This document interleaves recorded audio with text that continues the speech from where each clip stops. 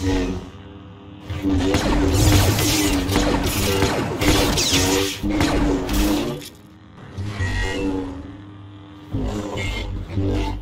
we have another Saber review. I made a quick unboxing on my TikTok, so go check that out. Special thanks to Saber Theory for sending me another Saber. We're taking a look at the Padawan Ani Saber from Saber Theory. Obviously, this hilt needs no introduction. Okay, maybe a small one. Just a slight small one. No.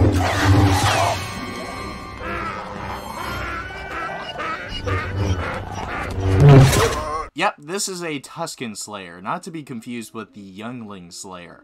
First appearing in Star Wars Attack of the Clones, this saber is Anakin's first saber he ever constructed, surviving most of his training until stumbling into a Geonosis droid factory.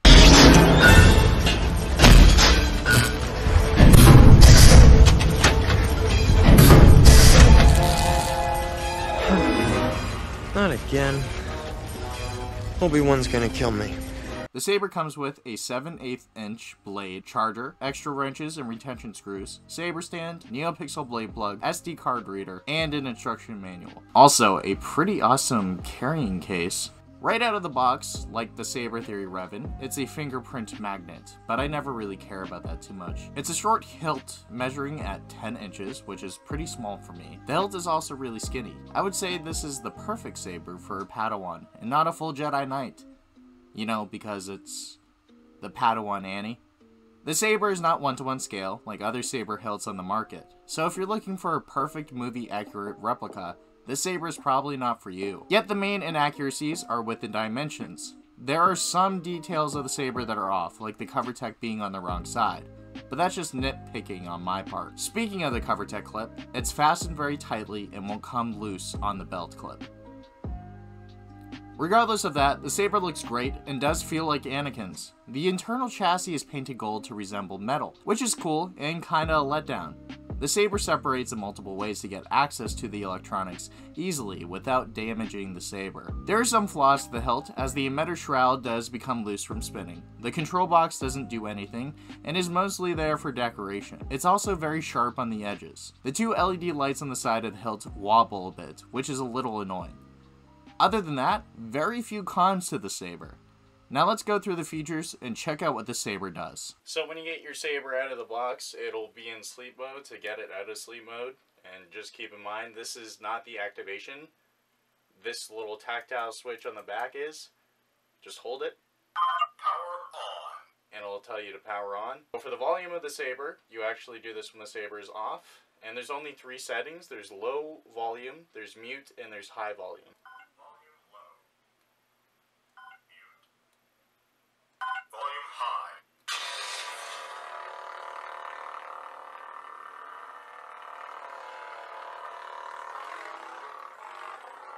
When activating the saber, you don't only need to use the tactile switch on the back, you also have the opportunity to use gesture controls with the saber.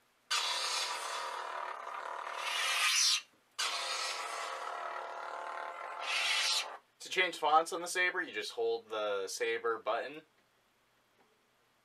the second until you get the next font. So when the saber's on, one button press for blaster deflection. For lockup, you hold the button and contact something. And for tip drag, you just hold the saber for the saber button for one second. And that's tip drag. To change color when the saber is on, you just hold the button for two seconds. And it'll start to cycle through all the colors. And when you reach a color that you really like, you just press the button once and it saves that color for that font. On the Saber, there are a few included additions like different ignitions and blade styles, but the timing for button presses is so confusing that it's really hard to go through all of them without accidentally going to a new menu like the Saber Ignition as opposed to doing the blade styles. So I'm just going to do my best and hopefully it works out. So that's the Hunter Ignition with the standard lightsaber blade, so there's no flicker or anything.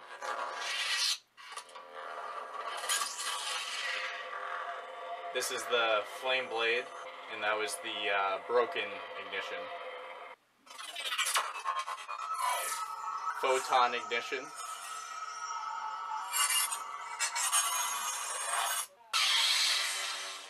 Standard ignition.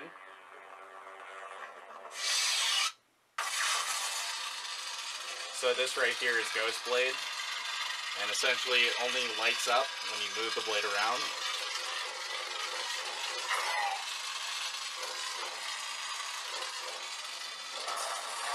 It's cool. I don't really use it that much though. Warp ignition.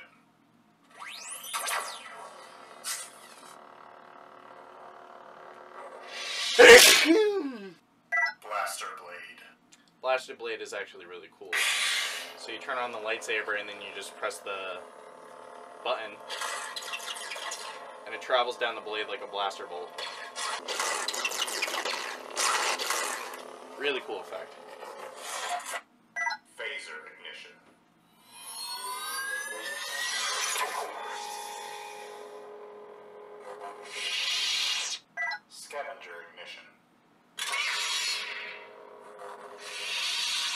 Scavenger is essentially like Rey Skywalker's saber where it flips from green to yellow to blue all in one go. It's pretty cool.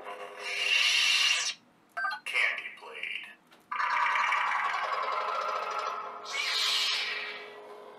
Another one of the blade profiles. And as you can see, the LED lights on the side of the hilt actually flash based on what the blade is doing, which is also really, really cool.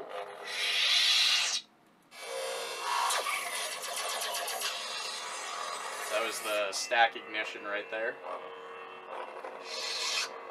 There's plenty of different other blade styles that I'll probably go through for a TikTok video. It, it's just really confusing, and without seeing any flashing lights and getting the timing off, it's just really difficult to switch in between ignitions and blade styles.